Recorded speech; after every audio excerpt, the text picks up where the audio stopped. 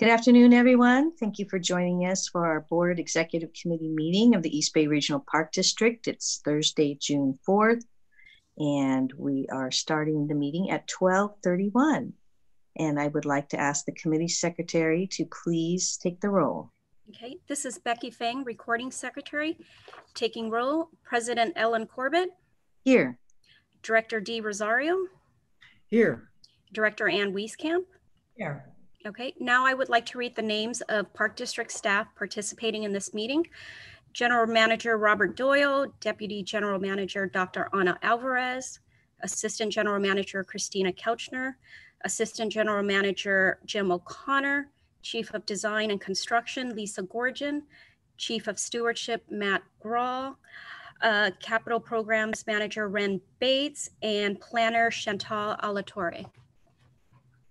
Thank you very much and welcome to everyone here attending from the Park District and any of our public or joining us here today. Uh, today's board committee meeting is held in accordance with Governor Newsom's executive order, allowing for board members to participate in standing committee meetings remotely. We are providing live audio and video streaming and have provided the public the opportunity to email or call in prior to the meeting with public comments. The information for that can be found on our agenda and is posted on our website at ebparks.org. And um, do any committee members have any questions about the meeting process before we begin? Nope. Okay. And do we know if we have any uh, uh, members of the public joining us today? Not that I am aware of, it's just staff at this moment. Okay, thank you very much. Well, let's go ahead and start with the agenda. We have um, two main items today, and the first one is our Hayward Shoreline Adaptation, excuse me, adaptation as we adapt master plan. And that presentation is by Matt Graul. Good afternoon, Matt. Good afternoon, Director Corbett. Uh, oh, sorry, AGM. No problem. This is Oops, can't hear you. Can't hear you, Christina. Still, still not working. frustrating. There we go. Now? There you go. Perfect. Perfect. Okay, thank you. Christina Kelchner, AGM of Acquisition Stewardship and Development. And um, this presentation today will be uh, first provided by Brian Holt um, and then Matt Graul.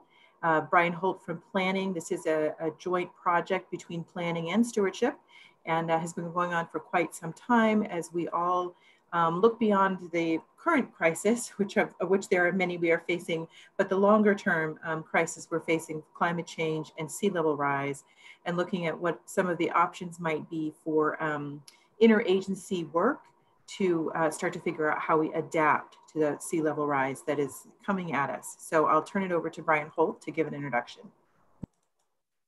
Okay, thank you so very much. Welcome, Brian. Thank you very much. Uh, I am going to share my screen here, so let me go ahead and find the presentation that just had it opened up. Oh, Brian, I got it. Sorry.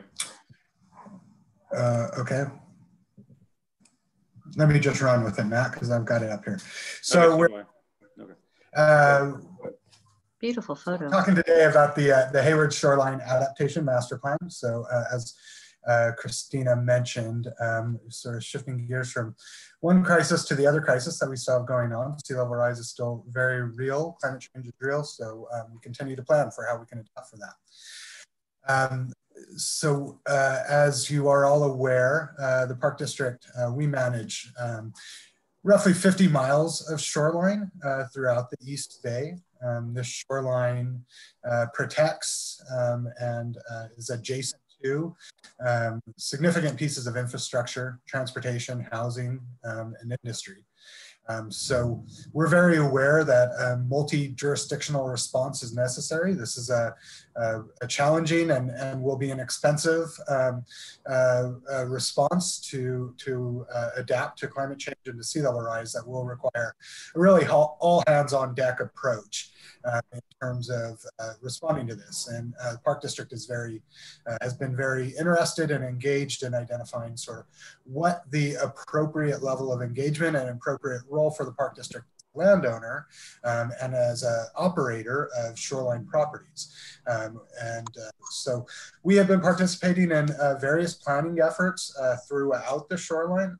Um, the Hayward uh, shoreline is sort of one piece to the puzzle of of, of, a number of different adaptation strategies that are being um, worked on uh, throughout the Bay Area. And they're really all following the same um, planning process uh, established by Adapting to Rising Tides, which is a, a process that has been developed by uh, BCDC, the Bay Conservation and Development Commission. Um, and uh, really, uh, just about every segment of the shoreline um, is being looked at in, in one of these steps um, whether it's through early scoping or assessing conditions, um, starting to define the risk, or really planning for what that response would be. Um, the Hayward Shoreline is, uh, we're working on that plan step. So um, this is important for us to develop a plan to really um, establish what those individual actions can be.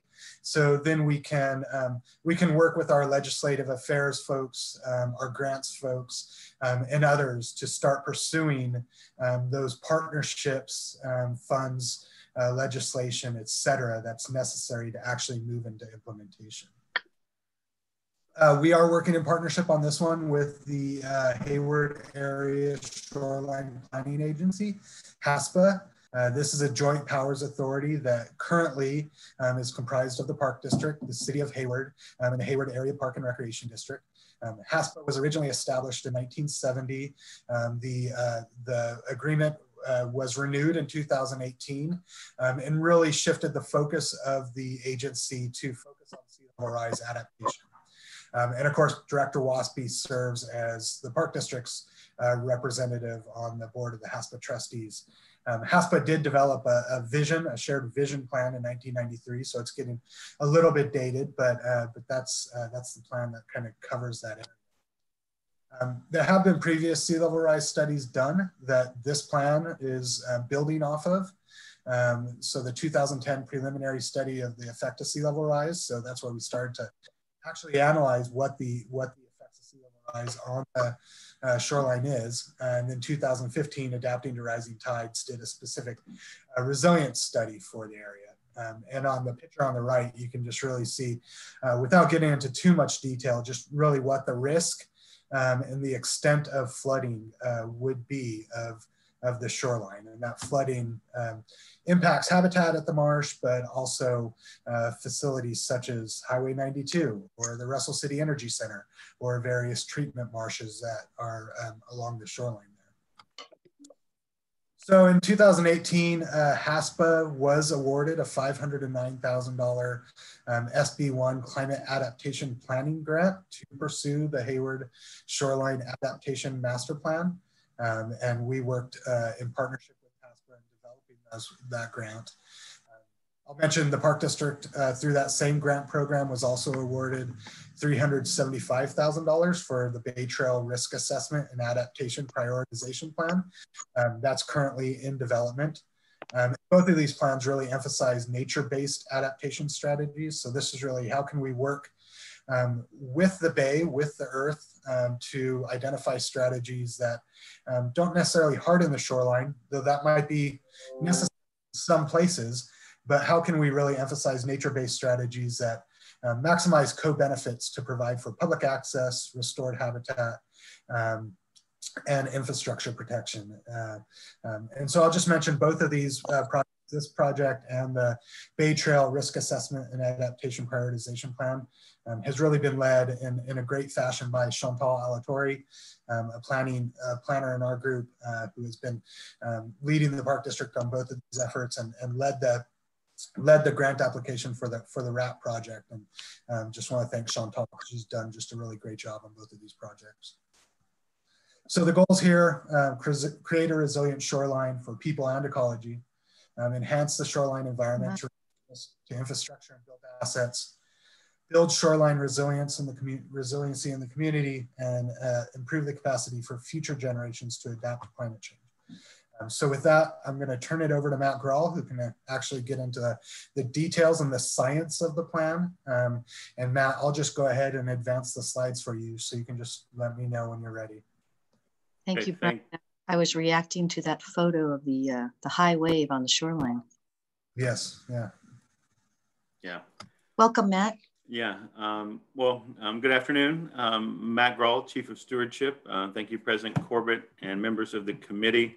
Um, look forward to talking more about this project today. So we've been working on this for over a year um, with uh, the project team um, being led by the City of Hayward and HARD um, through HASPA. And we just want to use this map first to show kind of the overview of the areas we've been looking at. Um, it shows sort of the extent of the project area. In the north, the boundary uh, appears the Oro Loma wastewater treatment plant.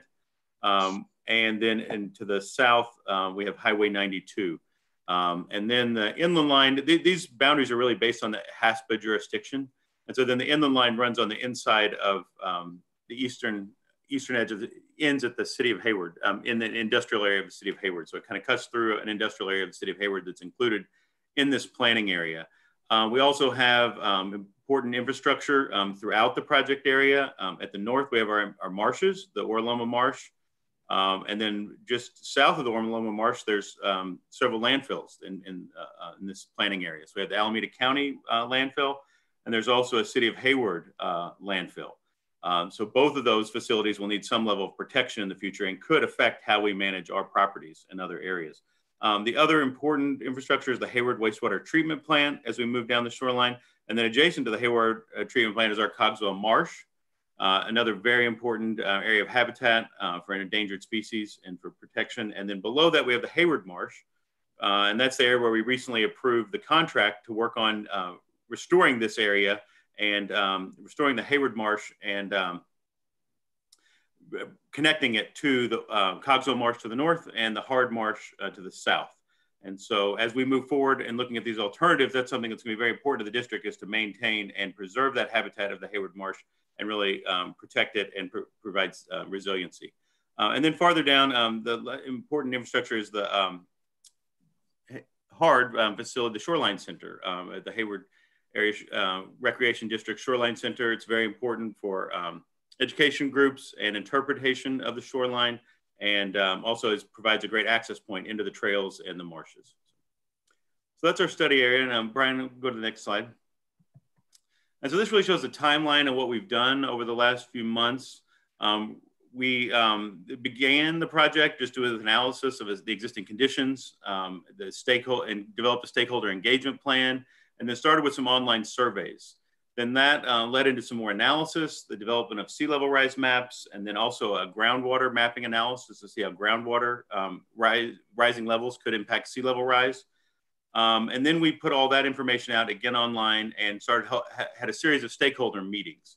And um, we shared that information at the stakeholder meetings. Um, those were hosted at the Shoreline Center uh, with a, and a variety, a number of agencies were uh, invited to that, and, and many um, sent representatives, and there were also uh, members from the public that attended those meetings, um, and they were very well attended um, initially um, with the, the first larger meeting, and then the second meeting we also had an, another stakeholder meeting to talk about design strategies, and I will go through the design strategies um, very specifically. But the main categories were these nature-based strategies that were the, are going to be the primary focus in the plan, engineered strategies, and then also some non-structural strategies. Uh, and I'm going to go through those in detail in the next few slides. But now what we've done and where we are now is we've combined all these strategies into several design alternatives. And so I'm going to also describe three design alternatives. And those, one is a more near shore alternative, then there's a down the middle alternative, and then a far inland alternative. And this is where you establish that line of protection. Matt, um, within the question? Yes, sure. Um, on the timeline for the, the uh, input from the stakeholders, groups. Yes. I know it's on this chart, but I'm sorry I can't read it because it's so small. Can you just refresh my memory when when that was when we had um, that? Well, we had one after the sea level rise modeling, which was last fall. Um, okay. and then um, later in, the, or actually it was late summer, and then last fall we had another workshop related to adaptation strategies. Okay, thank you Um, very much. And the last one in the fall, and that adaptation strategies was around the time of the fires um, that we had to Okay. close our, I remember we had to close our parks because of high wind and, and fire danger that day.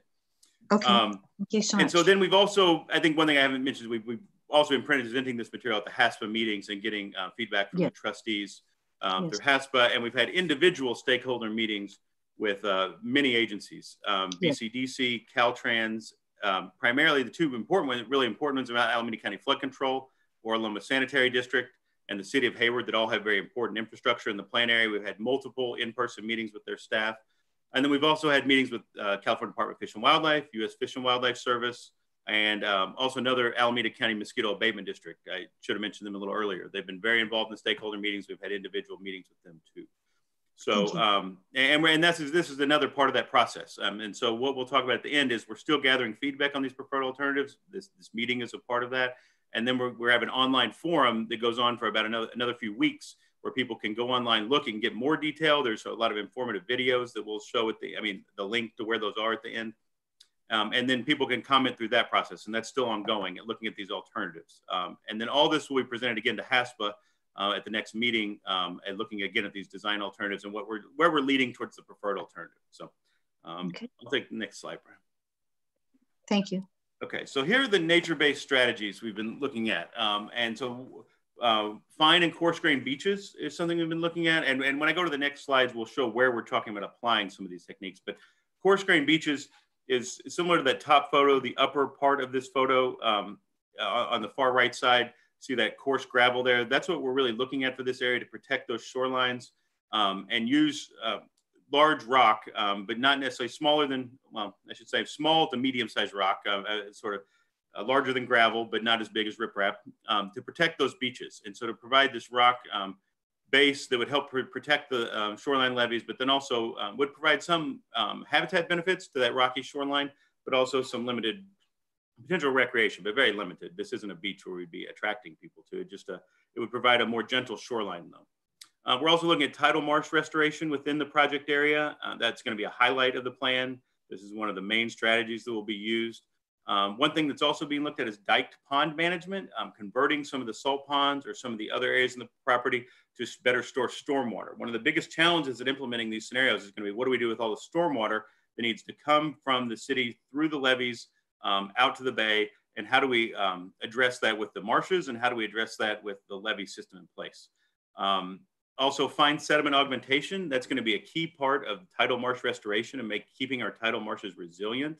Um, there's not enough sediment supply coming into the bay in this region to sustain the marshes um, in perpetuity. So we're going to need to do some level of augmentation. Um, to, and that can either be by pumping, um, that can be bringing in by barges. And one um, unique thing that's been discussed with Alameda County Flood Control, they're interested in piping sediment from Don Castro down to the Hayward Marsh at some point. And they've done a feasibility analysis. It's extremely expensive, but they've determined it's much, it's more feasible for them to set up a piping system through the flood control channels and down to the marshes rather than um, trucking it all out of Don Castro and, and, dumping it somewhere. So we may be looking at more strategies like that for other locations as we look at what do we do with all the sediment trapped behind these uh, reservoirs that we need to get down into the bay to provide resiliency and protect habitat. Um, we're also going to be looking at tributary connections to the baylands, the streams that used to flow through the area, and that will tie into the stormwater um, that I mentioned with management. And then reefs and living breakwaters and eelgrass restoration. These are two um, important habitat elements, but they're not going to provide a lot of sea level rise resiliency. They may provide a little, but they're going to need to be done in combination with the marsh restoration, the uh, coarse grain beaches, and some of the levee improvements to really make it um, work. Those, will, those two reefs and living breakwaters and eelgrass restoration are not going to be featured in the next slides, but we're uh, planning to include those in any of the three alternatives that are selected because they just have good additive value, um, but not providing that structural um, protection needed. So next slide. So we're also looking at engineered strategies. Uh, I think one that will be featured prominently in the next uh, designs is ecotone levees. Um, we're looking at using our levees as creating ecotones. Uh, the bottom uh, right picture kind of shows an example of that. Um, it's taken from the top of the levee, so it doesn't get a good um, perspective of the slope of that marsh plain below. But the idea is creating a marsh plain or a vegetated area uh, similar to riparian habitat or riparian vegetation along the edge of the levee. So you have some upland refugia and then some marsh and uh, other uh, habitat at the bottom to protect the levee. Uh, and so th those are the strategies we would like to do. But in many cases, areas we have to have levee improvements that will meet FEMA standards to address um, the flooding issues. So we will have to have some traditional FEMA certified levees, but in the designs, we're looking at partnering those with ecotone levees so that we can have an ecotone levee adjacent to a FEMA levee to create more habitat benefits. Uh, we may also may need to do some traditional revetments, um, as we see on the top, just either rock riprap or sheet pile. Um, those are techniques we're looking at uh, around some of the um, landfills and things like that. Uh, we're gonna need to improve tide gates and water control structures um, to manage that stormwater and to manage our marshes there's also going to need to be adaptation for the wastewater treatment plants, um, basically the city of Hayward and also Oro Loma. And then we're going to need to really look at land elevation. This is more in the city of Hayward area um, and land elevations for the buildings and the built environment there in the upland areas. Um, and then also the San Mateo Bridge landing is something else that will need to be addressed in any of these scenarios. Um, and also subsurface drainage and how we manage subsurface drainage and that subsurface drainage is, is primarily in the industrial developed areas. And, and as ground level um, waters rise, um, there's going to be, need to be some um, relief of getting that subsurface water out of the area. Uh, next slide. And then we're also looking at non-structural strategies. These are things like the uh, modifying access in the Bay Trail over time, uh, moving it um, as it becomes um, hard to maintain it. As you can see on the photos on the right, this is the typical, the top is the typical condition of the Bay Trail. Uh, but the bottom was a king tide um, last year. And so um, in king tides, we're seeing in many areas that we're just the Bay Trails is going underwater in some sections. Uh, and we expect that to continue. Um, and so over time, we're going to need to retreat um, in some way. Um, we want to still keep it as close to the edge of the bay, but we may need to go to the inside of a marsh or the inside of another area to, and that's what some of these alternatives will consider. Um, we're also going to need to look at how the marshes and mudflats will migrate over time as sea levels rise and, and then manage that retreat. So we will need some level of interior levees and sediment augmentation to maintain those marshes and to maintain that sort of non-structural strategy there to protect the, areas, but not necessarily build um, more infrastructure. And then um, there's gonna need to be a relocation at some point of the Hayward Shoreline Interpretive Center um, or a modification of it. So it's gonna need to either be raised on piers, put onto a barge or moved to another location. So the plan looked at various opportunities to relocate that center. And then also, as mentioned earlier, building scale strategies, we need to look at certain, can certain build, buildings be elevated or retrofitted to be able to um, handle some level of sea level rise. So next slide. Okay, so here are the three alternatives we're looking at. Um, just want to use this to give an overview um, of the alternatives, but after this slide, I'll go into the more detailed discussion of each of these alternatives. Um, so there's the closer to the bay alternative, um, which shows the line of protection um, going around Hayward, uh, Oro Loma and then through um, the Oro Loma Marsh. It also cuts off a portion of the Hayward Marsh at the bottom and then ends at Highway 92. Then we've got the down the middle approach, which um, puts some of the levees um, in the southern half down, straight down the middle um, and then cuts off an eastern portion of the Hayward Marsh. And then the further inland, it puts all the levees the farthest inland they can go um, and then, um, and it puts a line of protection uh, far inland, and then it, and it, puts it on the far eastern edge of both of our marshes. Um, okay, next slide.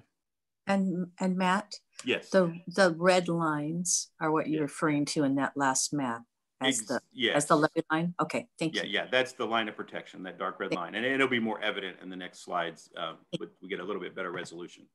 Um, so here are just some of the highlights uh, from the closer to the bay approach. Um, as I said earlier, the north end of the project area ties back um, or wraps around to Oro Loma wastewater treatment plant and ties into the San Lorenzo, San Lorenzo Creek channel. Um, and then it protects Oro Loma wastewater treatment plant in place with that levee. Um, it then cuts through the middle of the Oro Loma marsh and ties back to high ground of the two existing landfills. In the south, the alignment then follows the western edge of the oxidation ponds and cuts immediately south through Hayward and HARD marshes.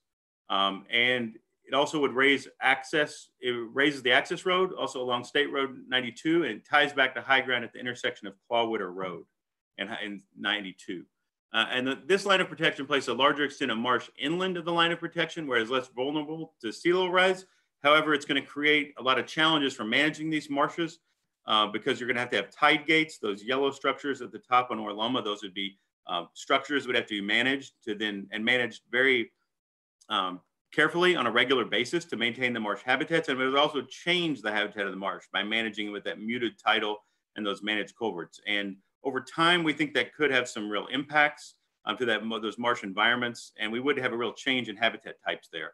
Uh, we have a much more diverse and, and, better habitat at the Oro Loma Marsh when it's in a natural environment. Um, and I, another concern about this is that cut, putting these FEMA levees through these marshes um, and on district lands, um, these are very expensive. Um, these are infrastructure that require a lot of maintenance um, and a lot of um, work to, to put in and, and to maintain. And, and they would also be, they would have to be FEMA certified. And so I think as we move forward, I think our, we're leaning towards pushing these, these, facilities off of district property uh, and, and, away from the marshes. But we'll talk about, I'll talk about that in the next options of why that is, is a preferred approach. Um, but this will also, one uh, good thing about this approach, and, and, this also includes the other places, this ecotone levee I want to put out is in front of these FEMA levees. So that dark green line in front of the red is where that ecotone levee would go. Another problem with this approach is it cuts off our, our um, we have to, we're gonna have to build an additional levee around um, the ponds of the Hayward Marsh to protect the Least Tern Island and others in this. So um, that would uh, create some additional infrastructure. And I think also the long-term um, one problem or one thing with this plan is the bay trail, as we can as we see now, is the bay trail is that dot, hat, dat, I'm sorry, dotted line along the edge of the shoreline. That dotted line over time would migrate to uh, uh, the edge of that FEMA levee um, as we start getting, it starts getting inundated and as the sea level rises and the marshes shift from mudflat to more of a low marsh, um, the bay trail would need to move at some point. Okay, so uh, next slide, Brian. So the down the middle approach, um, this pulls the, the, line of protection back along the um, Union Pacific Rail corridor here. Um, and also um, changes how we would look at um, the Frank's Tract area. Frank's Tract is just below Oro Loma Marsh. And this looks at using this area um, for some level of, of, stormwater storage here in this alternative. Um, that's the, the triangle that you're seeing just um, south of Oro Loma Marsh. Um, and then this um, also ties into the high ground, back into the high ground of the two existing landfills, and then follows the western extent of the oxidation ponds to the south uh, this alignment also pulls back in the southern portion of the site and cuts through the middle of the Salt Marsh Harvest Mouse Preserve, and then ties back along a new levee along the access road for um, State Route 92. Um, it also, this maintains a larger extent of the tidal habitat while still reducing the risk to critical infrastructure. Um,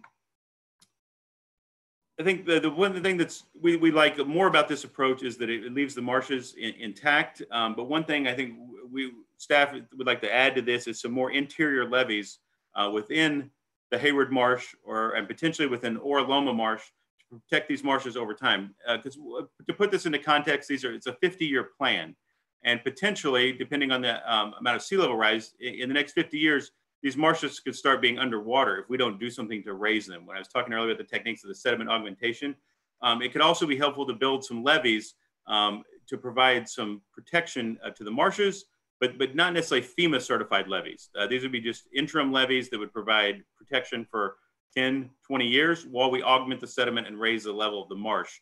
Um, so they would be more a short to midterm solution to prevent the sea level rise um, while we allow the marshes to adjust.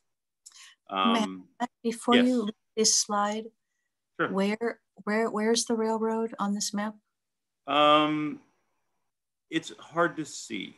Um, but just generally it's speaking. it's generally along that dashed line on the boundary, at least at okay. the um, um, at Oro Loma Marsh. Uh, it's just there between SkyWest Golf Course and the Oro Loma Marsh is right where the, the railroad cuts through. Um, okay. I, am not sure exactly how it goes through the city of Hayward. Um, but it stays uh, inland in the industrial areas a little bit more. It's not as close to the marshes except at, up at Oro Loma. So, but it is, well? It, it, oh, um, so, sorry. Go ahead, Director Rosario. Oh, uh, uh, you're saying that the uh, the alignment will cut the middle of the um, salt marsh harvest mouse preserve. Will there yes. have to be mitigation for that? It would require mitigation. And Absolutely. do we have uh, and what do we know what kind of mitigation uh, we're talking about? Well, it would be we would need to build more marshland, more hay, you know, expand an area similar to the Hayward Marsh or the Oro Loma Marsh or Cogswell Marsh, um, that would have to be part of the trade-off and part of that design process would be where can we um, expand or create more marsh. Mm. Uh, I mean, the plan is looking for those opportunities at things like Frank's Tract, or there's some old salt ponds out here at the Oliver Salt Ponds that could be restored to marsh. That's actually that is being contemplated in this alternative, um, but there are some risks to that. I mean, the salt pond habitat there is very provides good habitat and a different type of habitat. So, I mean, that's being considered here, but it's really um, we think we would like to probably not do that um, as, as, get rid of this salt pond habitat. We try to maintain the various types of habitat here. So there will be these trade-offs though in this plan. There's going to have to be some trade-off of conversion of habitat types or conversion of industrial land or, or other things. So Matt, the yes. stakeholders we've been talking to so far, do they include people whose infrastructure may be impacted by, uh, you know, inundation and rise? Um, well, we yes, I mean, well, the, certainly the city of Hayward and um, and Calpine um, and other sort of large areas. Um, as far as the industrial business owners, the city of Hayward has been doing a lot of um, you know outreach to those stakeholders um, through their website, the through their city what, newsletter. What about the railroad? Um, and the railroad, we've tried, and we're still trying. we don't have a good contact. We've, we've tried several contacts and we haven't gotten a good response from the railroad. Do we do we know if uh, railroads in general have some sort of um, have have we heard not specifically for us, but do we know are railroads invested in protecting their infrastructure in areas where sea level rise is occurring in general? Do we know that whether they're looking ahead and investing and protecting their infrastructures anywhere? I will just say I know um, the railroads were very engaged in the resilient by design process for um, the northern Contra Costa County shoreline. So uh, mm-hmm. Hercules and Rodeo, um, and uh, particularly the Capitol Corridor, Amtrak um, was mm-hmm concerned about um, the rail lines that go through there. And uh, I don't know about the status of UP and some of the others, but uh, but I know, like I say, Amtrak was was really engaged in that process. You'd think they'd have a, a vested interest and perhaps could be engaged as partners to help support the projects. Yeah, Director Director Corbett, I think they they definitely do and are. Um, the interesting thing about the railroad is that their rights are so uh, strong that they just dump more rock wherever they need it. Uh-huh. Remember, they've got the train to can fill a whole car full of rock and dump it along mm-hmm. the edge. And so that's yeah. one of the issues. They keep doing that over time and doesn't always fix a problem, but adds to a problem because they just right. dump more rock. Yeah, and there's other impacts. Okay, thank you. Okay, so Brian, we can go to the next slide. Okay, and so then this is the further inland approach. And this um, pulls back more, uh, again, along the um, Union Pacific uh, Railroad corridor. This also cuts back along Frank's track now, and so it goes on the backside of Frank's track, um, tying into the landfill. And then the western edge of um, the Hayward Marsh is protected, and then it protects the entire Salt Marsh Harvest Preserve intact in this area. Um, and uh, I think some highlights of this, and this will likely be coming is one thing on this is very different is this green line through um, the Hayward uh, treatment ponds. Um, that is contemplating uh, an alternative use of those ponds. Um, it's something that's being considered, but uh, Hayward has more immediate needs for those areas, so that will likely not move forward.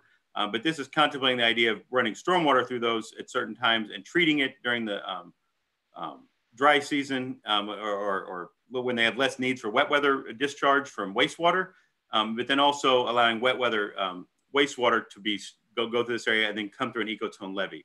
That's going to have some real design challenges, and the city of Hayward um, is really looking at what to do. I'm not sure exactly what their preferred alternative is now, but I think in some ways I know in early meetings they like the middle line of protection. Um, I think I, the district, I think this has some benefits of moving the levees far inland here.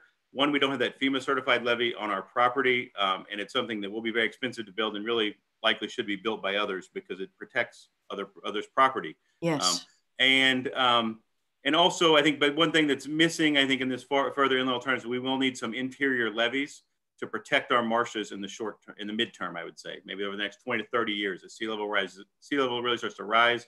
And we're really gonna need to do some intensive sediment augmentation. Um, one thing, as I was trying to be brief on these, I did not point out all of the alternatives include a gravel beach. That's the light brown line along the edge of the shoreline.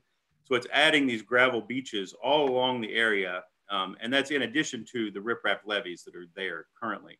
So it, it would help pre preserve them in place. Uh, but it's also the one thing that's uncertain about this is this technique is, and uh, as I say, many of these techniques um, and the challenge of a 50 year plan, many of these things are um, just concept ideas or have only been done in pilots. And so we've, there have been some gravel beaches that are in design and being implemented now. They're, they're going to be doing one near um, Alameda Creek. And that um, area uh, is uh, you know, they just they're just now putting it in place in the next few years. I mean, they're just going through the permitting process right now, and so we're going to need to see how those perform, and we're going to really need to understand what the long-term maintenance cost is, and, and how often do you have to augment that and add more gravel, and does that become a feasible solution in the long term? I mean, we don't expect to be adding gravel every year, but is it every 10 years, 20 years? How do you maintain those areas um, to keep them self-sustaining? Um, and so, and that same thing goes to the sediment augmentation. Um, that's been done at, at, more sites than gravel beaches, but it's still um, a lot to be figured out. And um, these ideas of pumping sediment from a reservoir that hasn't been done, but um, but some studies have been done, and there seems like a lot of opportunity. And we're going to really depend on a lot of those strategies to protect our marshes under this. But also, um, I think this puts, like I said, most of the built infrastructure on county property with the landfill, and then the FEMA uh, levees on, on, city of Hayward property for the most part. Um, the next slide really shows all three alternatives again. And so if we want to go back to that, maybe talk um, about the differences between the three or open any questions or really feedback and thoughts on the alternatives at this point. Thank you very much, Matt. Uh, board members, do you have any questions? Do you want to leave the maps up for a moment? I can't see you. If you would like to speak, just uh, please state so. Uh, yeah. Okay, Director Rosario, please go ahead. Uh, Matt, um, on the last, well, actually both the middle and the further, the, the number two and three, uh, it seems to me to be more beneficial to have uh, more marshland to absorb um, uh, sea level rise. Do you have, um, is there a sense of what, how much um, how much the marshes would um, absorb? Yeah, I think the, the problem is going to be the sea level rise and then also the rising groundwater. And so when, when you combine mm. those two things, at some point, and I don't know the exact time because I mean, that you know, sea level rise is changing all the time, but over the 50 year horizon, at some point, these would start converting to mud flats. Um, mm. and, so we would, the, it would just basically the marshes would become underwater. Um, and yeah. so that's why I keep talking about needing to raise those marsh plains or do something to protect them because they if we don't do that they will not be able to hold and capture that water we're going to need to raise that elevation so there's more um, you know porosity in the soil and more ability to store, store water and we'd also um, I think the one thing is we, we need to look at some of these how the stormwater comes through these levees. I didn't really, I talked about that early on the strategies, but stormwater will need to come through these areas and get out to the bay. And so when we look at the long-term cost for all these alternatives, that becomes very expensive because there's going to be something to pump the water through this levee and then through the marshes. But that, um, you know, that same infrastructure though may be able to be used in some ways to manage water flows in the marshes. But that would be part of a very technical design process. Wow. And then uh, regarding the uh, uh, the need to maintain all the um, the gates uh, and water controls, that sounds that sounds like it's also um, maintenance heavy. Yeah, absolutely. Yeah, hmm. that's our concern with um, the closer to the bay alternative, and then also the down yeah. the middle to the alternative. Because um, the down in the middle alternative, if you look at the bottom, those those um, squares, those are part of those water control infrastructures, and so that would be right in the edge of the HARD Marsh and the salt marsh harvests. the edge of the Hayward Marsh, HARD Marsh, and the Salt Marsh Harvest Mouse Preserve, right there in those kind of on the edge of those marshes. You know, Matt, I had a question about that too. The that area that would manage the waters. That's almost like, I mean, who would do that? It's almost like you'd have to have a whole new utility. Yeah, I mean, flood control is certainly in many areas um, very concerned about this, and so they, I think, are, are you know, and some of the they already have some of these structures, but they're really looking at what the needs will be. And as any FEMA uh, flood control levy goes in, and, and, depending where it's constructed, they may have that responsibility, but it also then could fall to the cities. Um, um, in, not in this area, not necessarily the county, but in other parts of the bay, it could be a county responsibility. But it's really going to be the entity that you know owns the infrastructure and has the responsibility for keeping water from gathering on their property. Uh, hmm. we, we don't have a lot of that on our property at the moment um, because most of these things go through, you know, right now are going through defined flood control channels. But as the waters rise, it's going to be harder to get that out to the bay and it's going to need more pumps and more management. So who, I, I, I see print on that site, but I can't read it because it's so small. So who does actually uh, own that property where that screens the green line is, the squiggly line? Um, um, so, oh, the squiggly line on the, the further is, inland. Is, not isn't that where you said where the? Yeah, that's uh, the city of Hayward. Um, okay. that's, that's the city of Hayward. That's part of their um, oxidation ponds right now. Okay. So, so, that was proposing an alternative to um, creatively reuse those to allow stormwater to come through there at yes. certain times yes, yes. and do some treatment. I, I, I from the early conversations, the city of wastewater treatment folks weren't ready to go that route, and they, they just have some more operational needs for that area now um, mm-hmm. that make that infeasible. Okay. Hmm. I believe, um, but I, I, have to let city speak for themselves. But I know I've heard that from some city staff. Uh, but they are still they're in this review process right now, so we'll know more uh, of their um, thoughts in the next few weeks. Well, I would imagine that the dollar signs for that would be pretty high. Yeah, um, the dollar signs for all of these are very high. Um, mm-hmm. it, it, we did some very rough cost estimates um, of what they could be, and the, the further inland gets up to um, close to a billion dollars. Um, mm-hmm. It is a, a, little over a billion dollars, but then the closer to the Bay alternative is about seven hundred million dollars. So, um, and they all have huge O and M costs, and there's huge uncertainties with all these things. And so when we took it to the city of Hayward, they said, well it's in 50 years and it's going to have to be, um, you know, all these agencies are going to have to come together. We're going to need other people's money. So let's try to do as much as we can and let's go for the further in. The cost doesn't matter because this is 50 years from now and we're going to need to raise all this money anyway. So, and we don't have any of it to begin, right, or very much of it to start. So let's go for the, you know, the biggest thing we can do. And then we'll try to, you know, if we can't get the money, adjust our plans over time. The longest so, term solution, is that what they're looking at?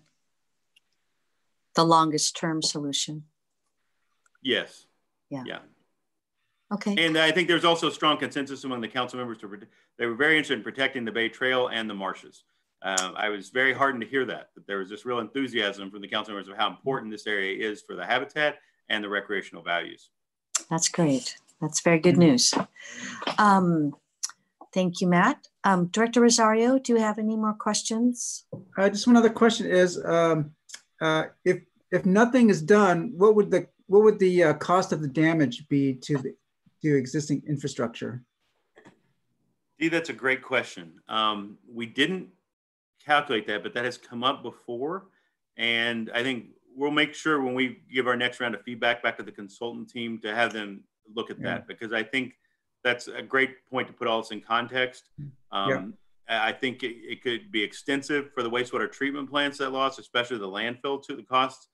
The district, I don't think there would be much of a financial loss, but there would just be a major loss in habitat um, and mm-hmm. if nothing was done.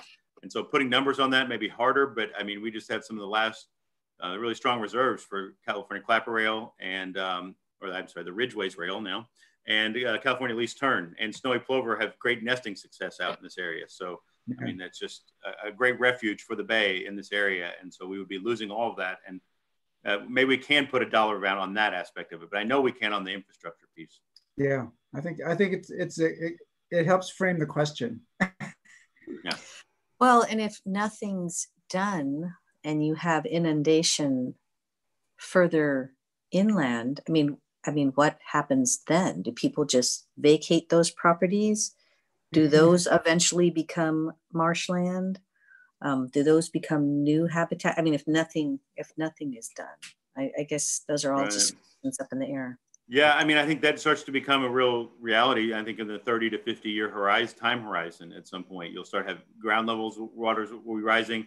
There'll need to be some retreat Um, it's hard now to envision a managed retreat scenario uh, mm-hmm. because we would have to be, um, you know, raising buildings and other things that would be extremely expensive and politically unpopular. But as the impacts get more and more real, I think there's going to be a real need to do some of that and relocate yeah. and elevate and move things away. We As you know, the uh, the industrial base and commercial base for Hayward, their tax base is really concentrated along that southern area. Yes. And yeah. it's also, if you know that type of building, that's you know wall stack buildings. It's a flat concrete pad with concrete yeah, built ups. So they're low already, um, and and so they are very important for the commercial base for the city. Just want to uh, remind the board that a lot of our green ownership is actually owned by the state of California. It's state lands commission property. Um, hmm. So th the only way that, let's just say it, uh, a billion dollar plan is going to come forward is, is for like a JPA between all the agencies and to be shared based on, on what their base of economics are. Because uh, if that railroad, which is a levee, if you think about a railroad, it's already a mm -hmm. levee. If that should fail and get flooded, that commerce isn't Hayward's commerce, it's the entire state's right. commerce. That railroad mm-hmm. is carrying materials to the port of Oakland and everything mm-hmm. else. Um, the same thing is true with with other facilities along that shoreline. I think uh, the leadership of the district to do this plan as a long-term vision uh, really puts us in a good position for planning. But there's there's really not any money even the Bay Authority dollars uh, wouldn't be large enough to pay for this plan. They could help uh, pieces of it and maybe habitat pieces, but this this is an industrial shoreline that happens to have a really big piece of marshland next to it, and it's got to be a state, federal, and and regional level of funding for sure.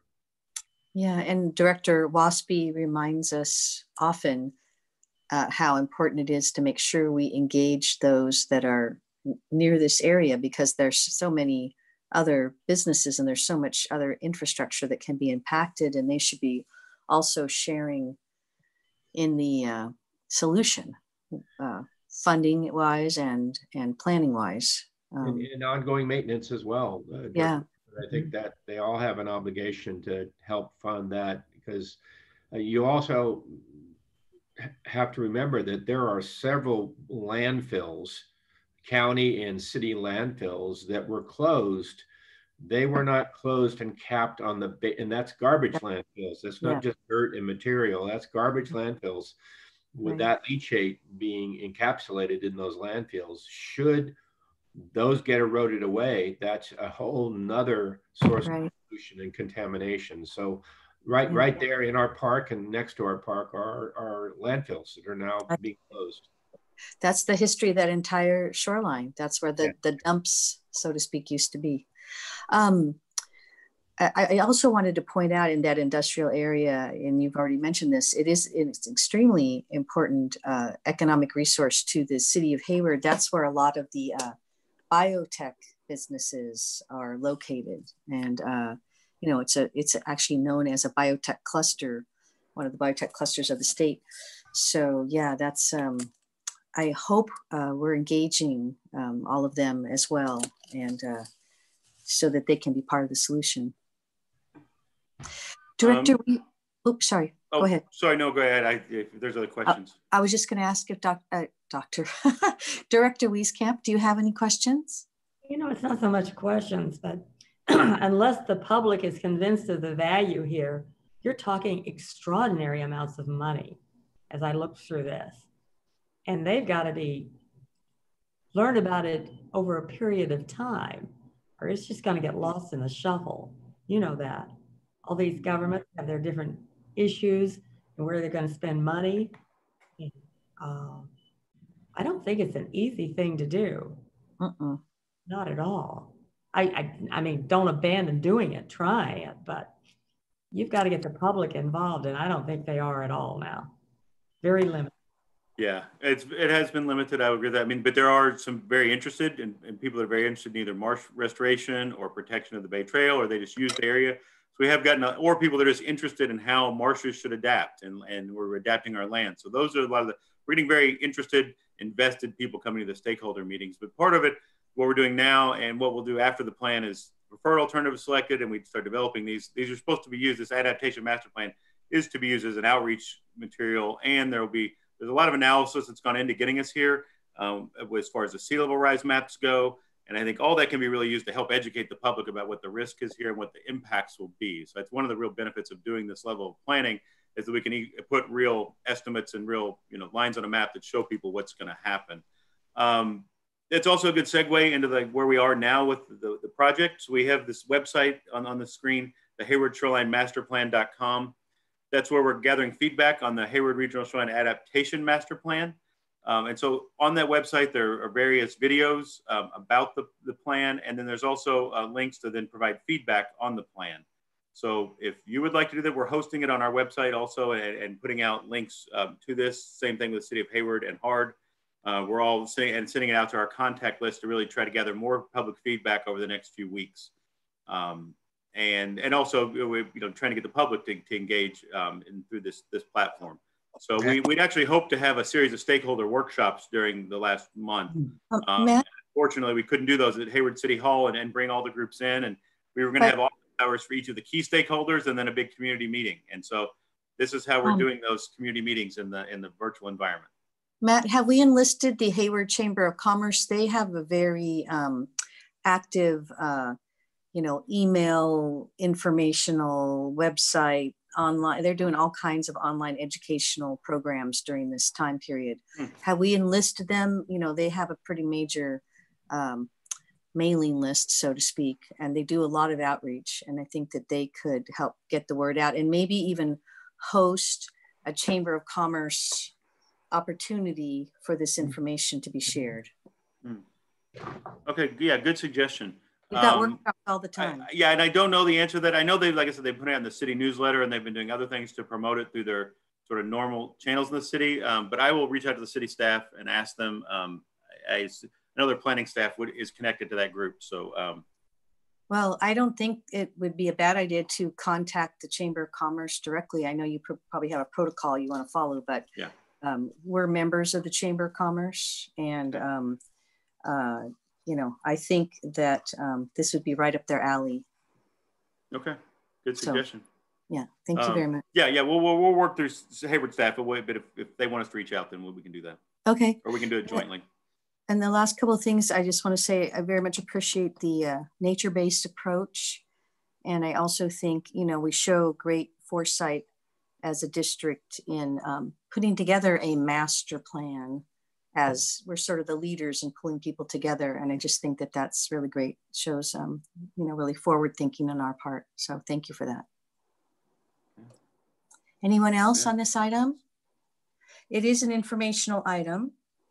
So if there's no other questions or, com oh, I'm sorry, Matt, did you have anything else to share? No, you had a question. That's it. I'm sorry. Madly. Yes, Director Rosario, I'm sorry, I can't see you when the screen share's on. Oh. Go ahead. uh, do you know if uh, the city of Hayward, if it, is, if it doesn't happen already, are they contemplating some kind of a, a community financing district for that uh, part of the shoreline?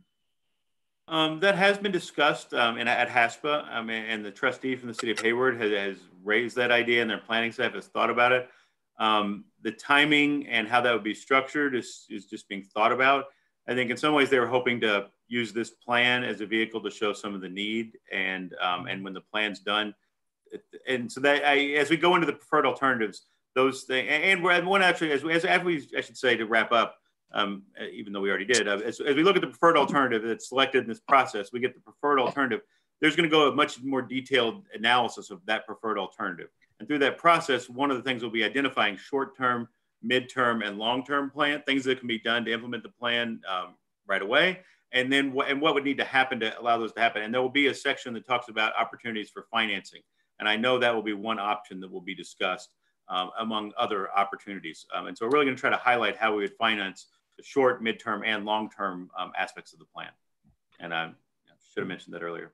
Matt, when we present great. these, excuse me, um, Ellen, I just, I, we're having a hard time. Um, Matt, will we be presenting this officially to BCDC? Have we asked to present it to their commission? Um, we have not asked to present to the commission. No, we've, we've, we've met with their staff twice, had two in-person meetings and, and given them all the information we've had. And we've gotten a lot of good um, input from their planning and permitting staff, and they're very engaged and interested. Um, but we haven't gone to the full commission. I just think as the board members have suggested, the more we make this public to get that information out, that's a good public body. And I also may, less of a public body, but still a very important one and owner is the State Lands Commission. And mm-hmm. so we, we may want to work through legislative affairs to provide something to them. Those are two very critical, obviously, pieces of the, not just the funding, but promoting the importance of this this project. And I think the board members are really right to say who else can we get on board in a, in a more public way uh, to get that yeah. information. You know, the water board is hosting a, a panel discussion on financing of these long-term solutions and, and, the sea level rise and marsh um, projects. And so Larry is going to be leading uh, one of the panels, and, and I'm going to be on that panel with Larry Goldzband. Um, and, and, but the morning is going to be led by Mike Montgomery from the Water Board, talking about all the financing that's available now. And then we're going to talk about what we've done, what we're doing, and then what our needs are on that panel. And I'm planning to highlight this project as part of that, um, and also talk about Dotson Marsh and many of our other successful projects we've implemented, but also talk about the needs for the creative financing. I'm really highlight. So as we get ready for that presentation, we'll talk more, and I'd be appreciate any things okay. we want to highlight. I, I, would have uh, maybe think of some way to uh, shoehorn Lake Temescal in there. I think. Yeah, that's a good. I, I think that's actually. I, I hadn't thought of it as creative, but I think it actually fits when we talk about creative solutions. To interrupt getting... again, but um, Lake Tem- I just found out Lake Temescal is the only watershed within that water board's area. That's what I was told the other day. That didn't make sense to me. No. There's something unique about um, Temescal on the water board. I just was told by the executive director, so I have to. Hmm. I'll have. We'll have to find out more about that. I'll have to talk to back to the 1800s or before. Yeah. All right. Um, Matt, thank you very much for a okay. really great presentation, thought provoking, and uh, another on the list of things we're going to be busy working on for many yeah. years. Thank you for that. Yeah, well, thank you. Yeah. yeah. Mm. So um, our next item, and I'm, I'm do a quick little time check. It's uh, what time is it? It's one. It's almost 1.30 and I know some of us have to go to EOC at uh, uh, two o'clock. So time time check, but we have our next item. And then of course we will have um, public comments. So our next item is our Park District Headquarters, Peralta Oaks North, a project update. And I believe this is going to be introduced by Deputy General Manager Ana Alvarez, joined by AGM Christina Kelchner and uh, Lisa Goorjian, who is our Chief of Design um, and Construction. So please go ahead and uh, take the floor. Thank you, President Corbett. Good afternoon, members of the board and esteemed members of the public and colleagues. Um, Dr. Dr. Ana Alvarez, Deputy General Manager. It's another beautiful day to deliver the mission of the Park District. In doing so, we're here today to provide an update on the Peralta Oaks North project to renovate the building immediately across the street from our current administrative headquarters which was acquired last year. The renovation of the building will allow for a true administration campus, adding value to the holistic approach of our work through design spaces that amplify a collaborative culture, which the One Campus concept will foster. As a way of background, this is a project that the Park District began nearly 20 years ago to replace the current public safety building that has reached the end of its useful life and to provide additional administrative space needed to accommodate the Park District's growth over the past couple of decades. The One Campus, the One Campus concept symbolizes and serves to unify the Park District, given that an integrated public safety division with the Park District Administrative Headquarters is a force multiplier towards the values of safety, service, and stewardship, and correctly signals to the vision of the Park District. We bring this item to you today recognizing that we find ourselves in unprecedented, unsettled, and uncertain times. In time when our headquarters are occupied only by those providing essential services as part of the continuation of operations under the current shelter in place order, at a time when parks and open spaces are more critical than ever, and the future of our economy is uncertain. This is also the time to reposition to benefit from the economic downturn, as you will hear more at the upcoming Capital Finance Board workshop next week. This is also the time when we are rethinking our workspaces to provide safe spaces for our employees to work and for the public to participate in person at our public meetings and visit our offices for services. So while staff has continued to work diligently on this project, we did want to take uh, just a moment to pause and speak to why staff continues to recommend moving forward the designing of a building renovation at this time, despite the fact that the world has literally changed since we last provided the board with an update. In fact, staff believes moving forward with the design work not only makes sense, but the timing is right. The project is well poised for success since our work is more critical than ever. The, it's important to note that the increased public expectations of our police and fire merit a modern complex with enough space and service capabilities to address the ever increasing demands in wildfire prevention and in keeping our parklands safe and available for everyone. An integrated public safety division only enhances our ability to respond, protect, and mitigate from what has become a regular threat of wildfires.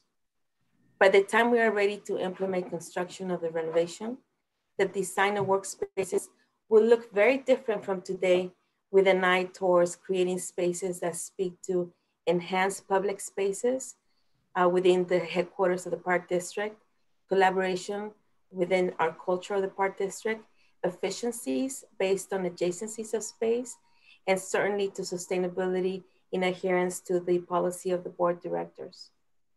The timing of this project is also right because of the market.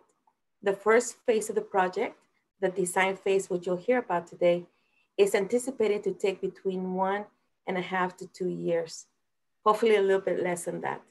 But while the economic future is uncertain, we anticipate that being ready to go to construction at the time will only position the Park District well to get competitive pricing in what the construction market is anticipated to be then.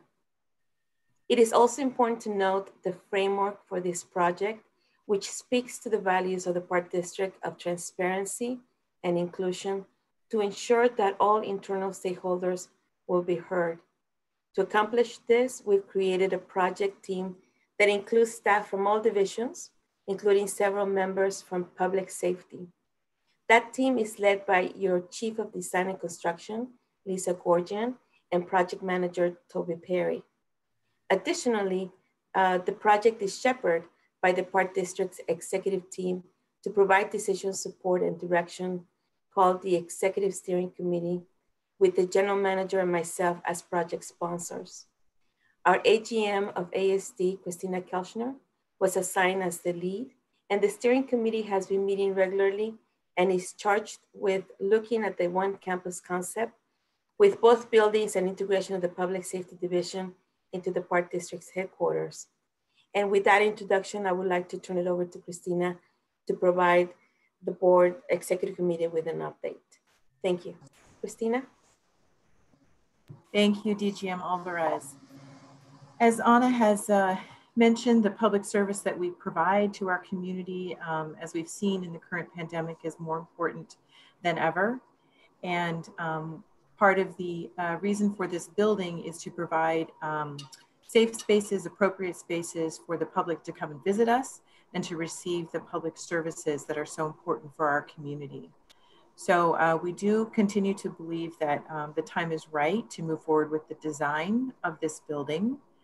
Um, and then of course, we'll be back many times to the board before we would move forward with construction. But to move forward with the design and to understand uh, what the cost would be to renovate and uh, really start to work on what the needs are so that we can continue to provide uh, services to the public. The purpose of the project has not changed, although the world has changed. As I said, it just has become even more important. And um, we have at this point reached an important milestone, which is that uh, staff has completed our interviews. We've put out an RFP, we've interviewed several firms, and are ready to recommend a consultant team to the board. We're still negotiating the terms of the contract with that consultant team, and we hope to be able to bring that to the board at the next board meeting on June 16th to the full board for the actual award of the consultant contract. So what we have to share with you today is the process that we've gone through, um, an update where we are, and uh, to share with you the recommendation for the firm that we have selected as staff. Next slide, Lisa. And although we're in a unique moment in time, as Ana said, this project has been going on for 20 years. Um, uh, at that time, we recognized that we needed to replace the uh, current public safety headquarters building, which was purpose built in the 1950s as a Nike missile site. And I know the board is familiar with all of this and probably doesn't you know, need all the refresher, um, but we did want to uh, just be sure that we reviewed that any members of the public are listening and uh, just remind everybody why we're doing this project at this time. Um, so over a 10 year period, we did look at 400 different sites. So the property search was extensive. Last year, we concluded that the building next door was actually the best value for the function that we need. It was the best value and also had the, um, advantage of being able to create a centralized location for the staff and for the public who make use of our services. Next slide, Lisa. Um, and just a reminder that although we're talking about a building, this project is really about people. It's about our people, our employees who are out there every day, keeping the public safe, keeping our parks safe. And that includes our um, public safety building, our public safety staff who are out there every day and making, helping the public feel welcome and feel safe in our parks. And they're also an important component of um, our stewardship team in uh, protecting our natural resources. Uh, next slide, please. And then of course our lifeguards, such an important critical component of the public safety and the services that uh, the Park District is able to offer to the community. The lifeguards are always are also housed in the current public safety building and badly in need in some of some uh, additional space and um, upgraded facilities. Next slide.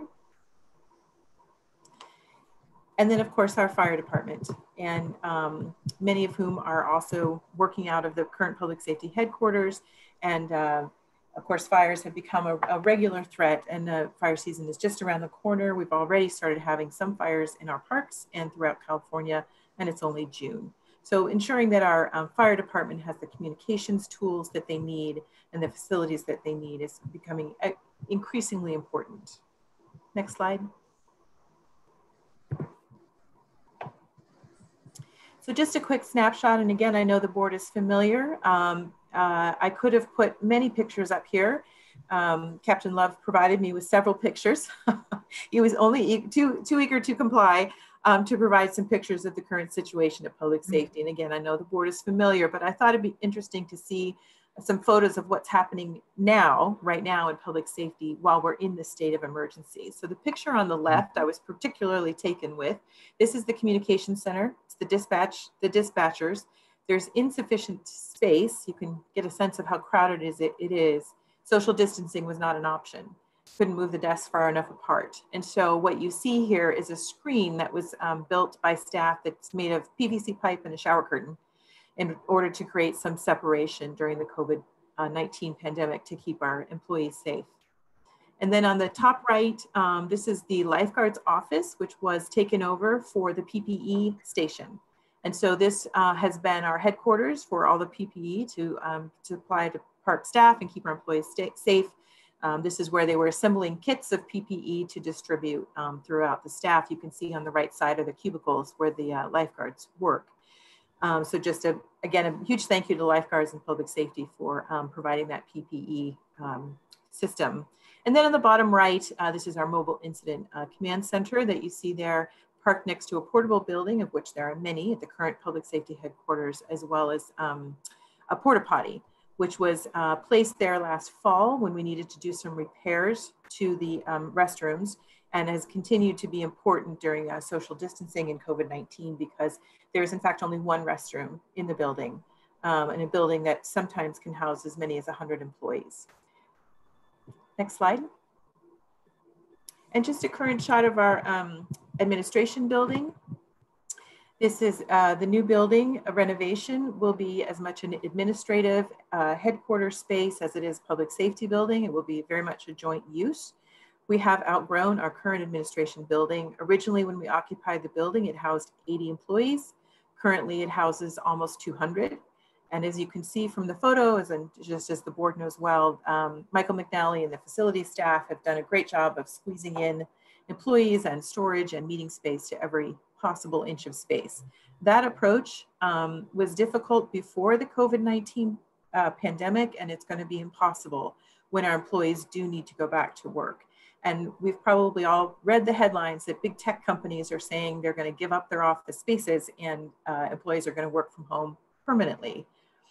That's not our situation. We are a public servant. We are um, a community service and we need to have a facility where um, our employees can provide those services to the public.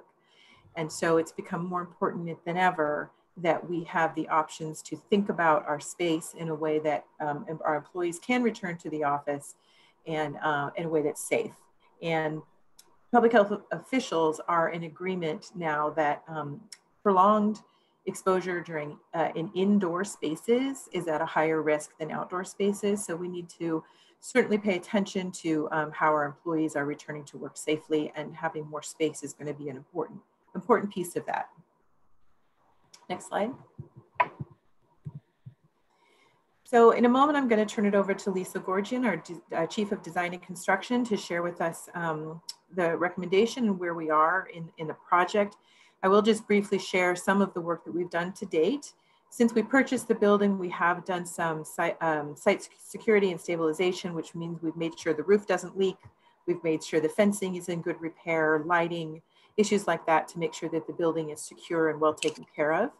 Um, and we've also established our internal teams. A lot of this project is going to be some um, decision making about what the functions are that we need and how we go about doing that. So we have established an executive steering committee. I lead that committee, and that's um, made up of assistant general managers of public safety, public affairs, operations, chief of HR, representatives from the GM's office, um, and also our CFO. Uh, so that's our executive steering committee. That um, steering committee has made some very basic decisions. For example, um, the public, the new building is going to house administrative staff and public safety staff. Um, the new, uh, the scope of the um, consultant's work will be to look at a boardroom and where we might have opportunities between this uh, current building and the new building uh, to invest in a new community space, boardroom space that has technological capability, enough capacity. Um, and so that's part of the scope that the consultant will be looking at. We did put um, some previous work we had been doing on the current building to modernize the current building and maximize our use of space in the current building. We've put that work on hold now. That was a decision the executive um, steering committee made. So to ensure that the two buildings move forward together in tandem so that we're making um, best use of our space uh, as a campus between the two buildings. Um, and uh, the scope will include a communication tower and it will include looking at how do we make the campus um, connected? How do we make the two buildings work together? And also um, sustainable design. What are um, the costs and benefits of various options for doing the most sustainable design that we can do? So those, those are the basic decisions that the executive steering committee has, um, has made uh, to recommend. And um, other than that, the design and the programming of the space is really a clean slate. So although we used space programming that we had done uh, when we looked at other facilities, we used that in the acquisition phase as due diligence, just to make sure that the building could accommodate the number of staff, a secure entrance, some of the basic things that we needed. But we will be doing a whole new space programming, which is just the word for deciding who goes where and what facilities go where it's a clean slate and we are starting that process once we get the consultant team on board. So I just wanted to reassure the board that um, we have not uh, moved down that road and the, that is all that work is still ahead of us to do. We've also established a project team that um, that uh, kicked off in January, and that is a team that's cross-divisional, um, and it has members that have been supported by their, uh, I'm sorry, appointed by their AGMs, um, such as Patty Gershanik um, to lead our communications effort. Alan Love um, is uh, co-leading that with Lisa Goorjian, um, Devin Reef in planning, who is very familiar with uh, Oakland. He came from Oakland planning um, and many others, uh, representations from all different divisions and they will be meeting, that project team will be meeting at specific milestones to be giving input to the process. So in February, just before the shelter in place, we did put out a request for proposals for consultant teams, including architects, engineers, designers. Um, and so although there's one consultant firm, there are 10, as many as 10 different sub-consulting firms as part of that, um, part of that consultant team. So with that, I'm going to hand it over to Lisa Goorjian, who will talk about our selection process and schedule. Thank you. Thank you. Um, Lisa Goorjian, Chief of Design and Construction. So I'm here to talk about the selection process. And uh, as Christina has just mentioned, she's given us a really nice overview and, and as well as um, Deputy General Manager, Dr. Ana Alvarez as well. So we, um, Christina mentioned that we've put together um, these two uh, um, committees. So we have uh, our executive steering committee, and then we also have our project team. And um, I think when we were in front of you in um, back in uh, December, and then again in March, we described, as Christina just has those uh, cross-divisional team. And so one of the first um, two, two tasks for those teams were to develop a project initiation plan where we really built on um, those basis, basic premise that uh, the executive steering committee um, had provided to us as guidance and um, really scoped out, okay, so what, what are we doing and what are we not doing? And um, also worked on putting together a request for proposals. And so this was again, really pretty collaborative in terms of getting feedback from our project team and then also from our executive steering committee as well.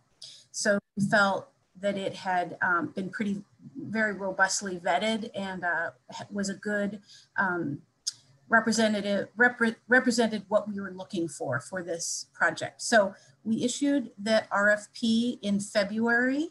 Later that month, we had a mandatory pre-bid, pre-proposal walkthrough in the building. We had, um, I think, representatives from up to 11 different firms that walked through. We were, uh, the, the RFPs closed in March and we received seven proposals. And uh, we um, in reviewing those, we identified four firms that we wanted to advance to then interview. And those firms were Indigo Hammond, Jeff Katz Architects, LPAS Architects, and Shah Kawasaki. So uh, I'm going to, so the, a lot of screens open. So the, the picture that's on your, that's as part of this slide is a screenshot from Dr. Alvarez's um, computer during uh, the interview process. So we, uh, because of the shelter in place, we pushed back our, our interviews uh, several weeks to come up with sort of the best process for having interviews, recognizing that we were all sheltering in place. And, and so we embraced Zoom along as we are today and um, had those interviews via Zoom. And so again, this is just sort of a snapshot of of one of the one of the slides that um, was being presented actually by uh, was being presented, and you can see on this slide Dr. Alvarez, um, Jim Devlin, who's our district architect, Ren Bates, the capital program manager, uh, Toby Perry, the project manager, and Alan Love, Captain Love, uh, with public safety. Christina and I were also on the Zoom call, but you can't see us. So um, that was, this is the group that vetted the uh, proposals and then advanced with the interviews. And from those, uh, we are so pleased to say that we had consensus on uh, the preferred firm. And so this is Shah Kawasaki. They are a local firm that have done uh, experience with public safety and administrative functions together. Um, I think mo perhaps most notably for the group, they uh, were the architects who renovated the building across the street, Alameda County Coroner's Office, and um, or the Alameda County building that also houses Coroner's Office. Um, so they have demonstrated local experience with the City of Oakland. They have demonstrated renovation experience. They are uh, they have a national leader in public safety, uh, architecture and design. They also um, are very familiar with the City of Oakland and State of California uh, sustainable uh, practices and sort of what sort of uh, architectural practices will be most appropriate for this building. And because most of their clients are public agencies, they have experience with um, both presenting in front of elected officials, but then also with neighborhood stakeholder groups and really have an understanding of how we can move forward successfully um, with public engagement as a component, you know, very significant aspect of this component of this component of this project. So I'm going to move ahead. This is another slide uh, from their presentation showing one of their recent office designs.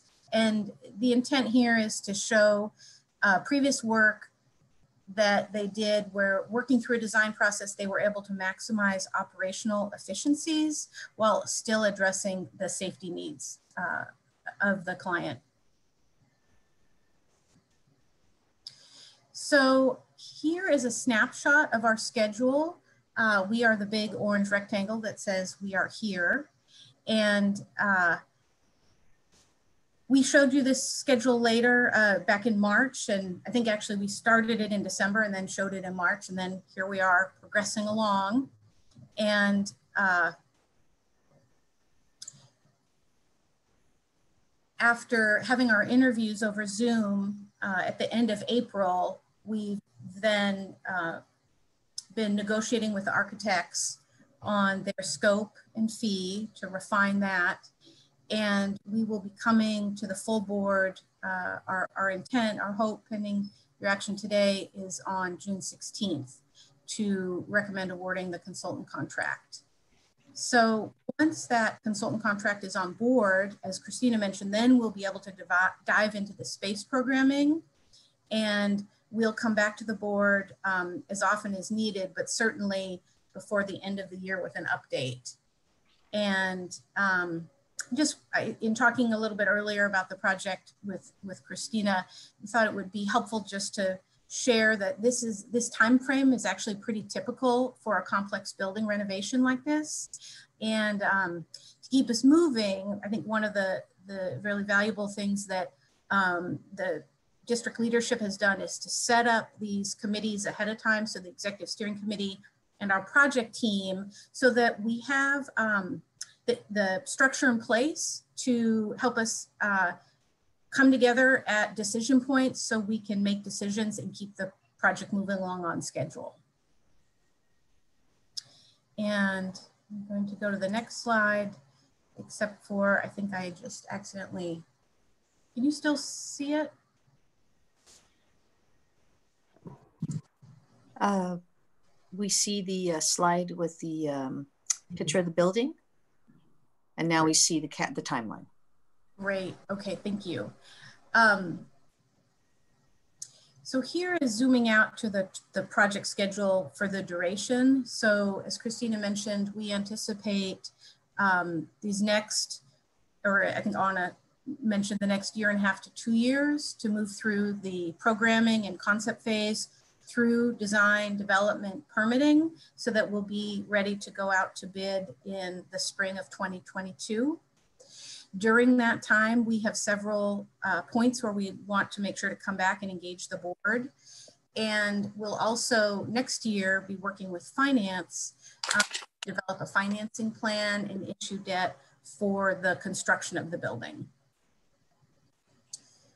So let's see we have, I think, uh, been over this, but um, Christina mentioned when she was talking about the acquisition, we did receive financing in 2012 from the promissory notes. And so those were over just over 19 million.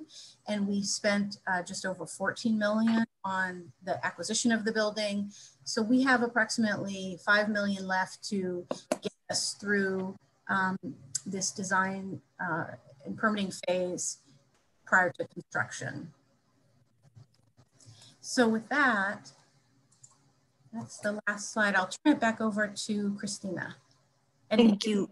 Thank you, Lisa and Christina. Like. Yeah. We are sort of running out of time as well, but thank you for the excellent presentation. Can I open it up to questions? Are We ready for that? And Lisa, could you take your screen down? Thank you. Yes, I am desperately trying to. Sorry. so while we're doing that, um, I am going to have to jump off to attend EOC in, in about four minutes. But in the meantime, uh, I just want to ask um, Director Rosario um, if he has any questions and then um, ask if you will close out the meeting when I leave. So after this item, we have um, public comments, board comments, and general manager comments. So when I leave, will you take over? Yes, no problem. Yes. And this is an information item as well, so we don't have a vote on it. So thank you. Um, any questions, comments? Director Rosario and then Director Wieskamp. Yeah, uh, thank you for the for this report. Um, uh, it's very exciting, and I appreciate all the work that's been done in here. And uh, one um, one uh, I really like the ideas of having the, the project teams and the steering committee. And I was wondering, um, there's one uh, there's one group that's being, I think is uh, being left out that's very interested in this building and that's the uh, board of directors. Other than the executive board, uh, I know there's a uh, uh, interest in what goes into the building and I was wondering if there is a possibility of uh, board members being part of one of these teams, either the steering or the project team, kind of like the, our ad hoc with the the task diversity uh, COVID task force and uh, our other endeavors, I think uh, uh, it would go a long way to uh, actually streamlining the process, uh, and we wouldn't have to wait a whole month to to get information or input into into the in, into the the concept of the building. Um, thank you, Director Rosario. I was actually thinking along those same lines that it might be helpful to have an ad hoc committee of the board. Um, you know, obviously there's so many things we have to keep on track on the timeline and having to wait and to schedule a meeting within, you know, the already programmed meetings. Um, I, I think it would be a good idea in case there's some need for direction or to bounce things off board members clearly this is a huge project and we have to make sure that we um, stay very close in touch with the entire board for you know all important decision making um, and make sure everybody has a part in that from from our group as well but i very much um, support the idea of an ad hoc committee i think it makes sense for you know things that may need some you know like i said some bouncing off of um, as we move through the process and i i um, would very much like to do that to appoint a um, ad hoc committee. Um, and I think it's a good idea. So thank you very much. Any other comments, questions? Director Rosario and then Director Wieskamp. Are you done, Dr. Director Rosario? Yeah, I just had one more question uh, uh, regarding the communications tower. Um, how far are we along as far as vetting uh, the location of that tower? And have we talked with the community yet? Uh, thank you, Director Rosario. Um, I think we are not very far along. I think we have a consultant who's looking at that. Uh, Lisa may have something to add. And I also did just want to mention that uh, Captain Love is on the call. And I had seen uh, uh, Chief Chabura here as well um, earlier. So they may have something to add. But Lisa, do you have an answer to that? Okay. Yeah. Maybe they can wait for the EOC to start for three minutes. Give us three extra minutes. Please go ahead. Yeah, thank you, Director Rosario. That's a great question. Um, I think as Christina mentioned, we, you know, it's kind of a blank slate. Um, we have some preliminary information, um, ideas just based on some recon that we did in order to provide enough information for the RFP. But that's uh, really something that one of the subconsultants of this architectural firm is a radio communications consultant and so engineering and so we'll really be looking to them to help us and i think as i mentioned this architecture team has has done similar projects that are located in neighborhoods and so um, i think we'll be looking to them too about um, how we want to engage with the neighbors because clearly that will be a very important component of this project yeah, we want to make sure we use technologies that are safe and not intrusive as much as we can. Thank yeah, you. Plus, we don't we don't want another Lake Chabot. oh, God no. Yeah, Correct. Director Wieskamp? I can't believe that we're the only agency that's going to be very concerned with the air in the interior spaces of buildings.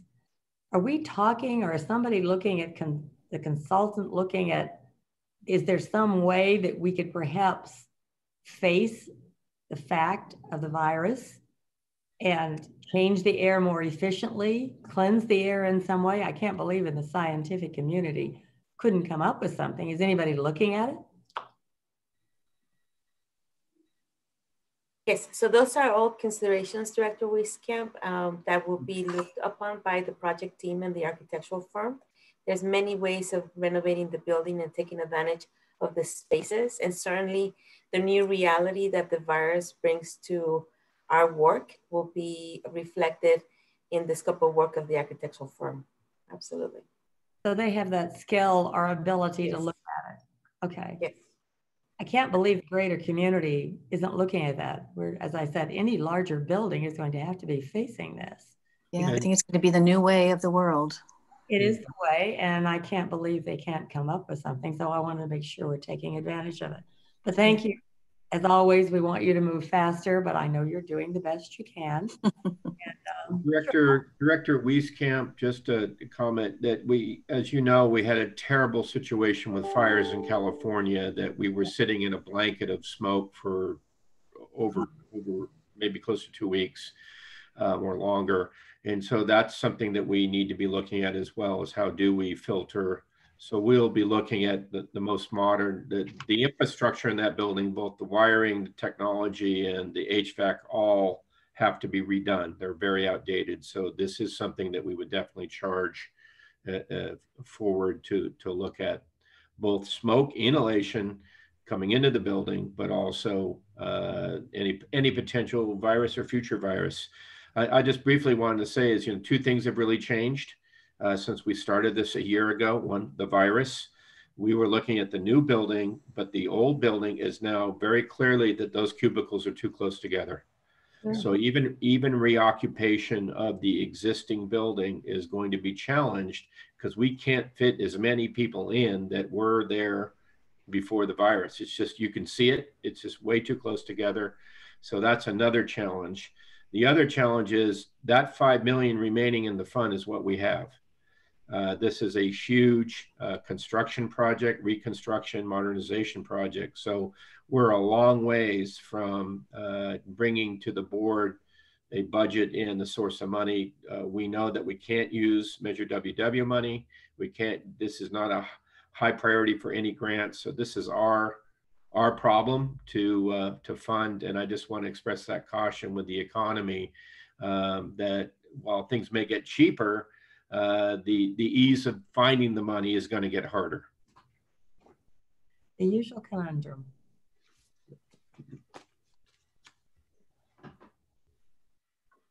Okay. Okay. E, it looks like you're you're in charge. Looks like I'm in charge. Okay, so um, anything further on that subject? Yeah, I'm, I'm sorry, you guys. EOC it just automatically linked in. I didn't even have control over it. It just popped me in. But um, thank you very much. I just want to say I support moving forward. I appreciate the selection of the architect. It looks like they have some great experience for what we need. And um, I'll see you all later. Thank you very much, Steve, for taking over. All right. You're bye, welcome. everybody. You. Bye-bye. So uh, was there any closing comments by uh, Christina? Do you have anything else on the? No, just thank you to the board for your support. And uh, we look forward to coming back to you later this month with the uh, consultant contract. Great, thank you. Great work, everyone. Um, and so that leaves us at public comments. Do Becky, do we have any public uh, comments? we have no public comments at this time. Great, thank you and board comments. Director Wieskamp. I am good. I, I thank you all. It's going to be an arduous task, and it's good to have Bob being making us be realistic about money and all that. All that. Yes. Everything is grounded in money. Um, down to money. I, I just have one um, uh, kind of follow up to uh, an agenda item that was on the, uh, that we deferred to um, at the last executive board meeting was the naming of Concord Naval Weapons Station. Where are we? Have we made contact with any uh, the Native American groups regarding the name? Uh, Director Rosario, I don't believe Brian is still on the call. So um, I know that we are in process of that and we have made some connections um, with the Native American group. So those conversations are happening. Right. I don't know that we have any conclusions, but the conversations are happening. Excellent. And then uh, just as another comment, I was at a uh, uh, fundraiser for Councilmember Dan Kalb, and it was brought up that uh, I guess we heard from the Ninth Circuit panel that uh, they overturned the City Council's ban on coal. And I believe that's uh, going to go to the full uh, court. So uh, any support you can give on a personal level, go um, out and do it. So Director Rosario, we are involved uh, in that as well. Um, so uh, we can have council uh, give an update on that. We um, we are participating, not directly, but uh, we, we have sent letters. Excellent. And with that, uh, General Manager, any final comments?